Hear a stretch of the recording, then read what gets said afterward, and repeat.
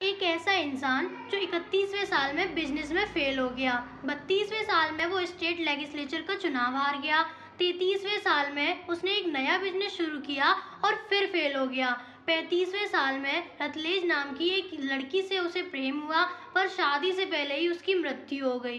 छत्तीसवें साल में उसका नर्वस ब्रेकडाउन हो गया। तैतालीसवें साल में उसने कांग्रेस के लिए चुनाव लड़ा, पर हार गया। अड़तालीसवें साल में उसने फिर कोशिश की, पर हार गया। पचपनवें साल में उसने सेनेट का चुनाव लड़ा, पर फिर से हार गया। अगले साल उसने वाइस प्रेसिडेंट के लिए चुनाव लड़ा पर हार गया। छठवें साल में उसने फिर से सेनेट के लिए चुनाव लड़ा, पर हार गया। आखिरकार 1860 में लिंकन साइन करने वाला वो व्यक्ति अमेरिका का सोलवा राष्ट्रपति चुना गया। ये व्यक्ति और कोई नहीं अब्राहम लिंकन थे, जिनका पूरा नाम अब्राहम थॉमस लिंकन था। लिंकन का जीवन संघर्षपूर्ण रहा। जीवन भर असफलताओं का सामना करते हुए आखिरकार वे अमेरिका जैसे देश के राष्ट्रपति बने। लिंकन का जन्म 12 फरवरी 1809 में कैटुकी अमेरिका में हुआ था। उनके पिता थॉमस लिंकन और माता नैन्सी थी। लिंकन को अमेरिका में दास प्रथा समाप्त करने का श्रेय जाता है। लिंकन शुरू से ही दास प्रथा के विरोधी थे। इसके लिए उन्हें पूरे जीवन भर संघर्ष भी करना पड़ा था। लिंकन ने 1 जनवरी अठारह को एक हुक्म द्वारा गुलामगिरी नष्ट की और दो साल के बाद 31 जनवरी अठारह सौ पैंसठ को तेरहवीं घटना ठीक करके इस आदेश को घटना में स्थान दिया।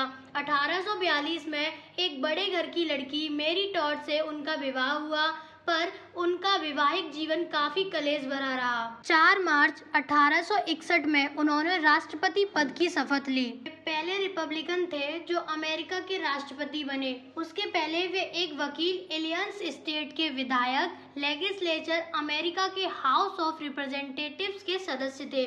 वे दो बार सीनेट के एग्ज़ाम में असफल भी हुए।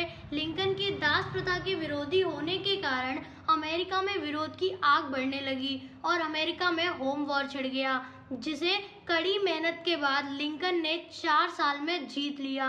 उन्होंने अमेरिका को उसके सबसे बड़े संकट होम वॉर से पार लगाया। लिंकन एक नेक दिल वाले इंसान थे। वे एक वकील के तौर पर अपने उन क्लाइंट से अधिक फ़ीस नहीं लिया करते थे, जो उन्हीं की तरह गरीब थे।